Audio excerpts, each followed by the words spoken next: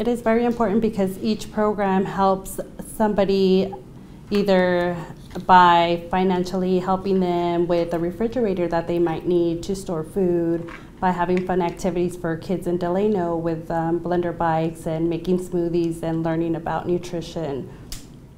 We get a lot of positive feedback because it helps um, them in ways that they might not know impacts them. Um, for example, the Bakersfield Homeless Center helps with the refrigerators for the homeless, so they're able to get their clients housed quicker, so that helps somebody get off of the streets and into a home. Um, the Lice Kits in Arvin helps them, you know, be able to attend school more frequently and not miss as many days.